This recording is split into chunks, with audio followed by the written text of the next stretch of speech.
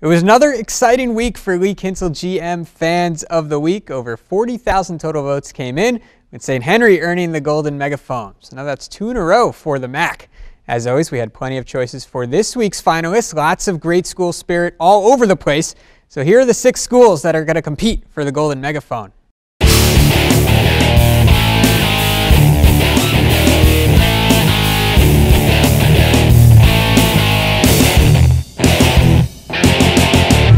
Fans were ready to go on Friday night. Fort Jennings giving high fives on the sideline during a soccer match. And plenty of camo at the barn in New Knoxville.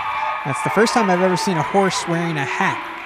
Shawnee is a finalist this week, dressed in all black. Great support coming from the Indian students section. And Versailles faithful made the trip to New Bremen with their floaties and vuvuzelas in tow. Finally, Wapakoneta has had plenty to cheer about this football season. Plenty of energy in the Redskins student section.